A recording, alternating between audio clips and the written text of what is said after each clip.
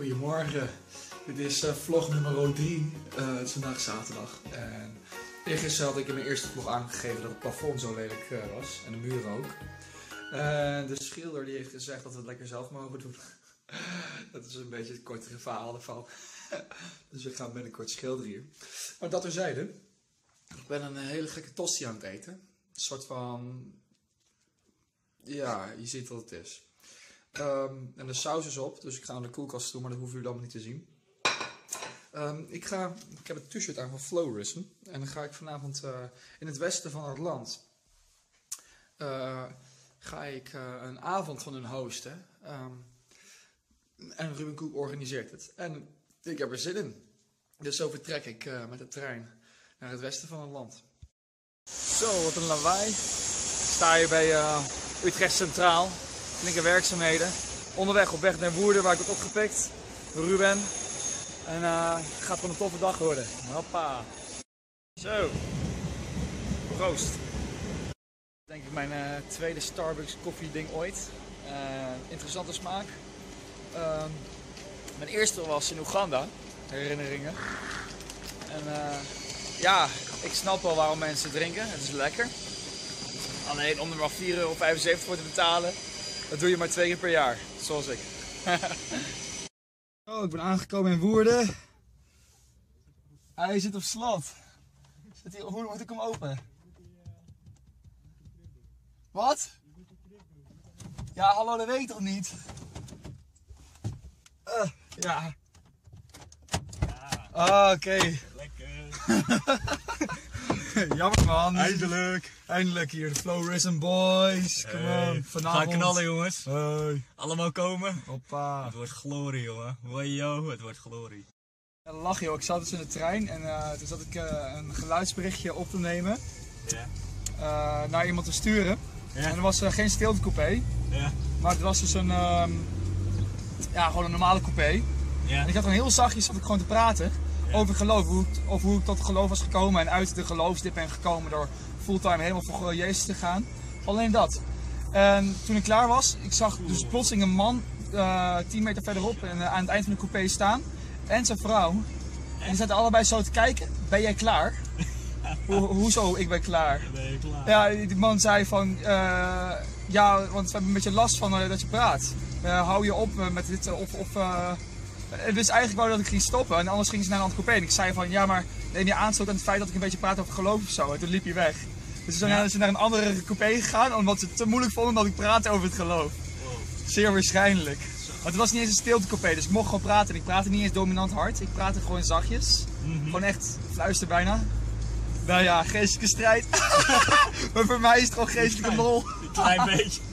Lachen Klein man. beetje maar. Lachen. Geniaal.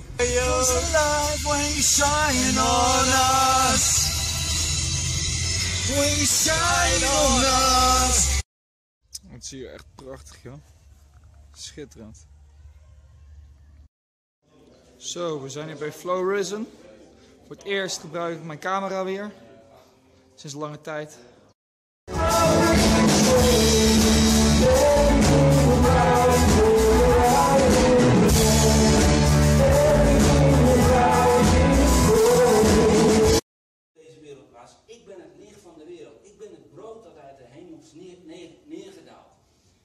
Later zegt hij, jullie zijn het licht van de wereld. Jullie zijn het zout van de aarde.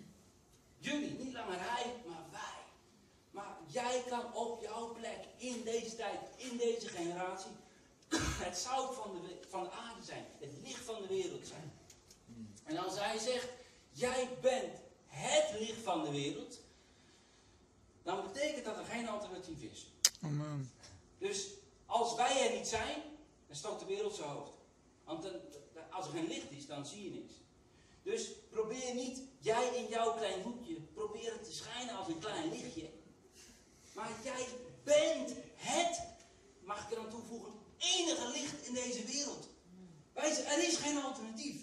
Dus als wij niet de maatschappij intrekken, als wij onze positie in de maatschappij niet innemen, dan bevindt zich daar geen licht.